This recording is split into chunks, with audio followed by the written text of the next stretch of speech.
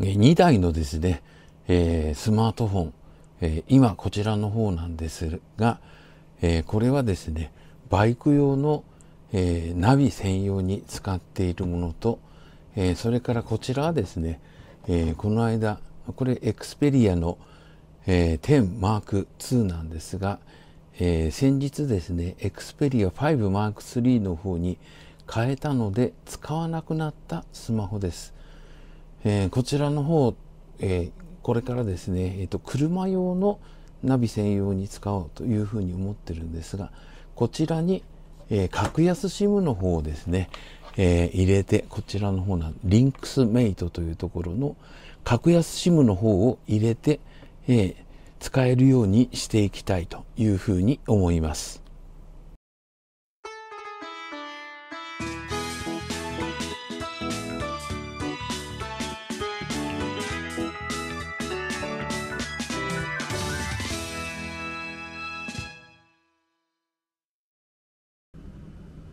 リンクスメイトの SIM なんですが、えー、と今回ですね、2枚頼みました。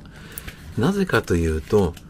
えー、1つのですね、グループで2枚、えー、追加料金110円払うことによって2枚の SIM を使うということができるんですね。で、えー、今2台がありますので、えこちらの方に変えると、え今までのものよりも安くなるということで、えー、こちらの方を頼みました。えっ、ー、とですね、今までは、えー、他のですね、データ専用の、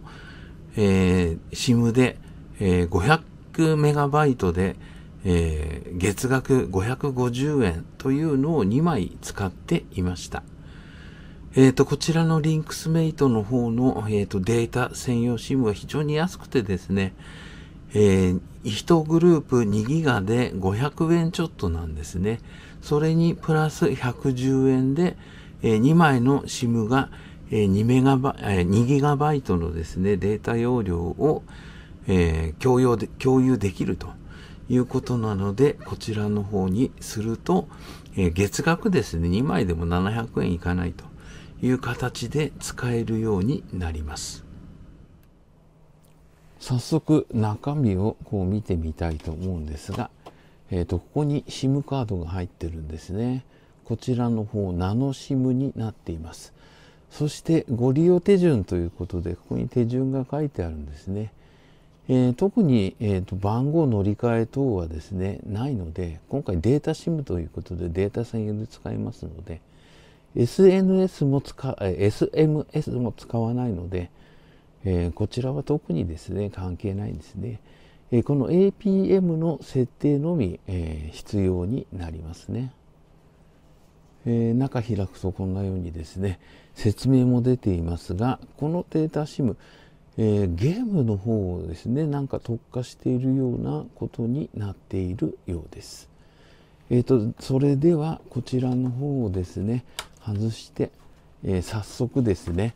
えー、スマートフォンの方に取り付けて設定をしていきたいというふうに思います。それではこちらですね、エクスペリア、えー、10 Mark II の方にですね、えー、早速入れていきたいと思います。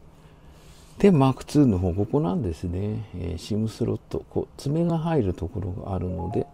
分かりやすいですね。今こちら電源切れています。でこれをこう引き出しますね。あ逆ですね向きね。こういう向きなんですね。ここに SIM カードここにマイクロ SD スロットというふうになっています、えー、これをですね、えー、本来こう手袋をしてやらなければいけないんですがまあこういうふうに回転させるようにするとこれが外れます。外れたらですねえー、ここ、えー、切り欠きに合わせてですねこの上にこう乗せます。こうですね、えー、乗せたらスロットの方に、えー、そっと入れます。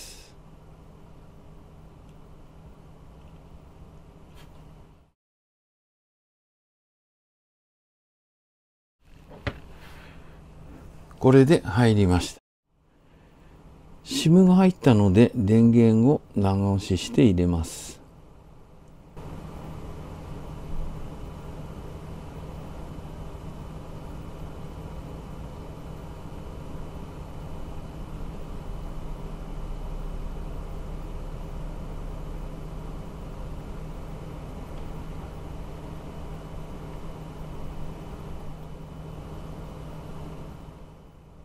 起動しましたので APN の設定をしたいと思います、えー、設定を開きます。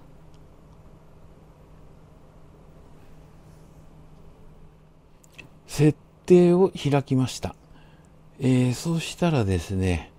これですねネットワークとインターネット。でモバイルネットワークですね。えー、そして、えー、アクセスポイント名ですね。詳細設定を開いて、この下、アクセスポイント名ですね。そしてこちらの方を、えー、編集します。プラスでですね、新しい APN。えー、名前の方がですね、えー、これ何でもいいんですが、えーと、リンクスメイトというふうに入れます。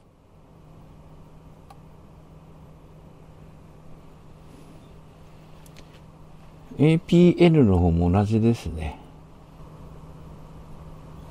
これで OK ですね。ユーザー名。これですね。ユーザー名はユーザー。ユーザー。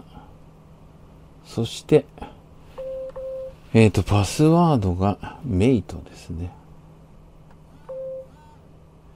そして、えー、認証タイプ。サーバー MMSC、MMS プロキシ、MS、MS ポート飛ばして、この認証タイプ。えっ、ー、と、今未設定になっているので、これを、えー、CHAP ですね。こちらの方にします。ここをタップして保存をかけます。で、リンクスメイト JP。こうですね。えー、Wi-Fi の方を切ってやると 4G プラスになっていて、えー、接続の方が、えー、完了しました。で、こちらですね。えー、ちょっとですね、スピードテスト入れてみたいと思います。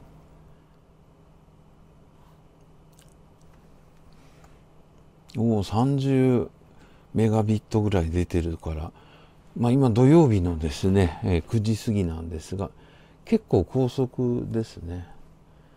アップロードの方も11ぐらい、10から10ぐらいかな。10ぐらい出てますね。えー、か結構高速だと思います。インターネットは高速ですというふうに出てますね。えー、これでですね、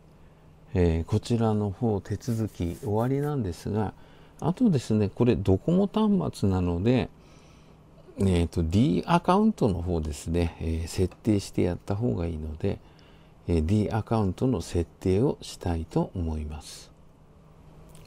それではこちらの画面からですね、え、D アカウントにログオンしログインしたいと思います。えー、ここなんですね。これ D アカウントを発行してもらってもいいんですけどね。ねえっ、ー、と、これで設定の終了ですね。ただ、えっ、ー、と、ドコモのですね、えー、メールであったりだとかっていうのは使えなくなりますので、えっ、ー、と、こちらの方は、えー、削除等ですね、しておいた方がいいのかなというふうに思います。